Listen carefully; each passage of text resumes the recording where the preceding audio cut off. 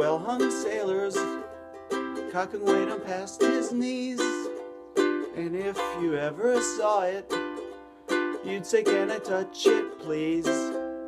All of the other sailors used to think he was so sweet. They didn't know that Bryan was carrying 10 pounds of meat.